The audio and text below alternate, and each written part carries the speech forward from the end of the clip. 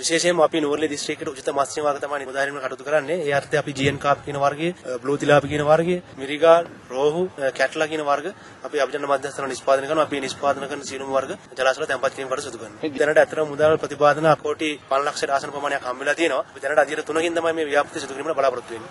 අධ්‍යයන තුන යටතේදී ප්‍රධාන ජලාශ වෙනුවෙන් මත්ස්‍ය ඇඟිල්ලන් ලක්ෂ 8කට ආසන්න ප්‍රමාණයකොත් මිරිදිය ස්තම් පසුපිටියන් ලක්ෂ 4කොත් මත්ස්‍ය ඇසිත්තන් ලක්ෂ 34ක් ජලාශ තුල ඉදිකරනු ලබන දැල්කොඩු 40ක් තුල තැන්පත් කිරීමට අපි අරමුණු කරගෙන තිබෙනවා. මේ හා සමගම ප්‍රධාන ජලාශයට අමතරව වතු ජලාශවල මත්ස්‍ය ඇඟිල්ලන් 150000ක් තැන්පත් කිරීමට අපි සැලසුම් කරලා තිබෙනවා. දැනටමත් අපි ලංකාවේ අනිකුත් ජලාශවල ක්‍රියාත්මක වෙනවා. මුලතිව් දිස්ත්‍රික්කයේ මේ වෙනකොට රුපියල් මිලියන 6ක වගේ ප්‍රමාණයකින් අවශ්‍ය සහාය දීවර ජනතාවට ලබා දීලා තියෙනවා. ඒ වගේම රට වෙනුවෙන් එකට සිටුම වැඩසටහන යටතේත් මොනගල දිස්ත්‍රික්කයේ තියෙන ප්‍රධාන ජලාශවලට මත්ස්‍ය ඇඟිල්ලන් නිකුත් කිරීමේ ව්‍යාපෘති සිදු කරන්න යෙදෙනවා. ඉදිරි කාලයේදී අපි අපේ ආහාර නිෂ්පාදන ජාතික වැඩසටහන යටතේ මිගදිය දීවර කර්මාන්තය ඒ වගේම කරදිය මිගදිය දීවර කර්මාන්තයත් නගා සිටුවට අවශ්‍ය කටයුතු දිගින් දිගටම කරන්න බලාපොරොත්තු